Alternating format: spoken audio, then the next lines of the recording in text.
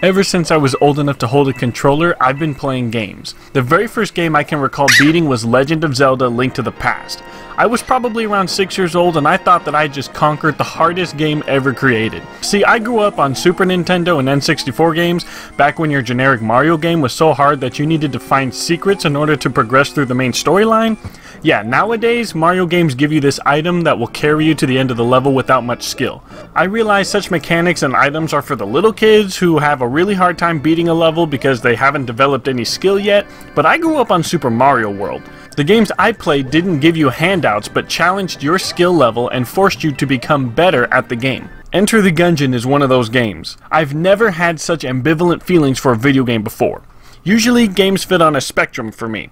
Either I absolutely love the game or I absolutely hate the game, with the rest of the game spattered within this love-hate spectrum. Enter the Gungeon sits on both ends of the spectrum while occupying every space in between.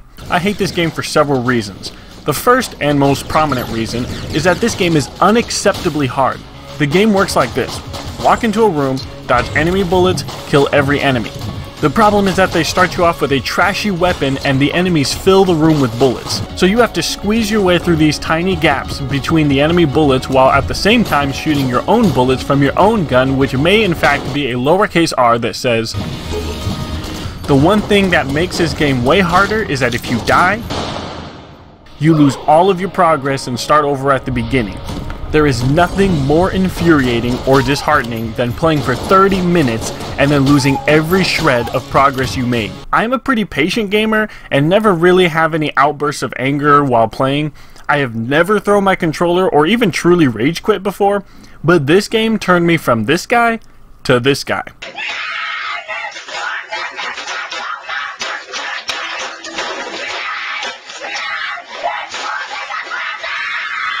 Some of the boss fights are absolutely ridiculous. The Gorgun can make it so you can't shoot. Ammoconda slithers around the room throwing snake-like bullets that move around the screen while trying to kill you. The Bullet King fills the entire room with bullets. The Wallmonger is this wall that takes up a third of your screen and keeps pushing you backwards. I have never before had such difficult boss fights in the game. I wouldn't wish my worst enemies fight these bosses. The saving grace of this game is that it is fun as all get out to play. There are so many layers to the action in this game that it is impossible not to feel like every room cleared is an amazing accomplishment. You can kick over tables for cover, you can kick explosive barrels at enemies and shoot them, you can drop chandeliers on your enemies, and of course, the guns are the best part of the game. You got a shotgun, a crossbow that shoots stars, a gun that shoots saw blades, you have a demon head that actually I, I, I don't know what it's supposed to do.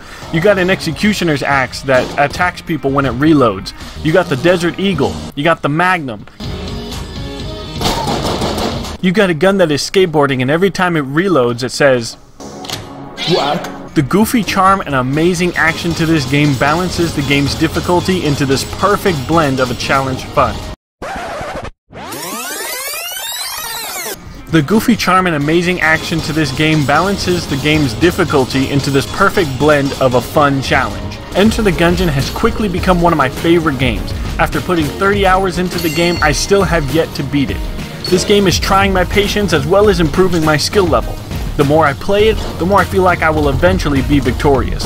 Even after failing miserably, I often find myself playing this game every opportunity I get, hoping to get just a little further each time.